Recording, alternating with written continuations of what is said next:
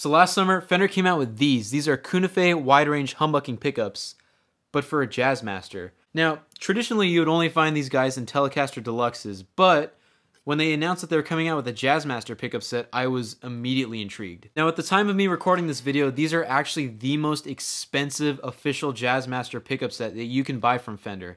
These are 400 fucking dollars. Yeah, holy shit. And if you wanted to buy these pickups individually brand new, you'd have to pay 230 to 250 each. Now with that kind of price tag, saying that I had high expectation for these fucking things when I first bought them is an absolute understatement. I expected to install them, and when I started playing the guitar, rainbows would like shoot out of my butthole. I would hear a knock at the door, and it would be my ex-girlfriend begging to get back with me. Maybe the whammy bar would like grow a really big hand that would like feed and clothe me and bathe me every night. I bought these, I think it was July of 2023, and I had them in my Squier J Mascis Jazzmaster for a little over half a year. So I do think that I have really, really good experience with these. Note that they are not the pickups that are in the guitar right now. And I kind of just wanted to get my thoughts out of the way right off the bat. I don't like these things. Um, I gigged with these, I recorded with these, I practiced a lot with these over the past half year or so, and they're just not for me. And more importantly, I just don't think that they're worth the price. And I understand that the CuniFe magnets are difficult to obtain, they're hard to produce, or whatever the fuck Fender's been saying all these years. But looking at this from the standpoint of just a product, okay? This is a product that you would pay $400 for to have a different sound for your guitar. Is this a $400 worth of change for your sound? And I just don't really think it's worth it. Now, is that to say that you won't like these? No, of course not. You might love these. And is that to say that you just shouldn't buy expensive pickups and expensive parts for your guitar? No, of course not. You know, if you like it and it works for you and it's within your personal budget, then, you know, all power to you. But for me personally, for the regular college kid that's in a little surf rock band with his friends, were these worth $400? No. And they just weren't really for my sound. Now, wide range humbuckers in general aren't going to give you that traditional sort of PAF humbucker kind of sound. They're their own unique thing. They're trying to do the sort of sparkly clean Fender tone, but in the form of a humbucker. So they have a truly unique and odd sound to them that I do like traditionally, but just in a Jazzmaster, I just don't think it worked really well. Now, the best way I can describe the sound of these things is they are very large and wide, but with not a whole lot in the middle. There's not a lot of body to the sound, and there just wasn't really any amount of EQing that I could do on the amp or in my DAW to sort of compensate for this, for the sound that I liked. And I even tried different kinds of pots for these things. Um, I, of course, used the one meg pots at first. Those are the traditional pots that you would find in a Jazzmaster. Those are also the pots that I used in the sound demo for this video. I also tried 500K pots. Was not much of a difference. Um, when I switched to 250K pots, it sounded really muddy and shitty, and I just kind of angrily took them back out right away. I listen to a lot of shoegaze music, which is traditionally played with offset guitars, such as most famously the Jazzmaster. And I just sort of thought, you know, if I had a humbucker in it, that would maybe help with the high gain stuff and the distortion and stuff. Um, but these definitely were not the way to go. Of course, these were not intended to be high gain pickups. They're not meant to be for shoegaze. But I just wanted to see how they would sound. I just wanted to try them out. And yeah, I just didn't really like them. I almost feel bad for the amount of pickups I've had in this thing. I had the original pickups, of course, when I first bought it. Then I tried the Pure Vintage 65 pickups. I tried the J Mascis signature set. And then I tried these, and honestly, out of all of those pickup sets, I liked these the least. And all of these months later, I am back to just having the stock pickups in. Honestly, the stock pickups in the J Mascis Signature Jazzmaster I think are great honestly, they're kind of slept on because I see a lot of people buying these, myself included, and immediately thinking, oh, it's a Squier guitar. I need to upgrade it. I need to get like something expensive to put into it. But honestly, the pickups that come with these is just great. I love them. So in summary, these just weren't for me. Now, the point of this video isn't to be going out and saying like, oh, you can't like these. Don't buy these because I didn't like them. You can't like them. You can't fucking like these. I didn't like them, so that means that you can't fucking like them. But that's not what I'm trying to say. They just didn't work out for me personally, and for me personally, they just weren't worth the price. But now on to the sound demos. I had one meg pots in my Jazzmaster when recording them, since I just figured those are the traditional Jazzmaster pot values. and I recorded using my Fender Tone Master Twin Reverb, mic'd up with a Sennheiser E906, going into a Volt 276 interface.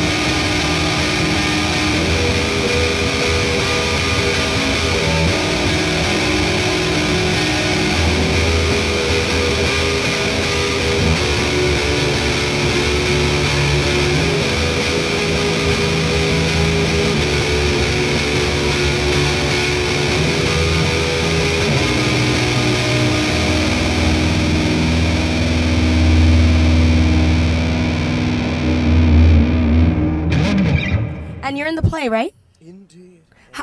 How's that going? Well, it's it's going chillfully thus far.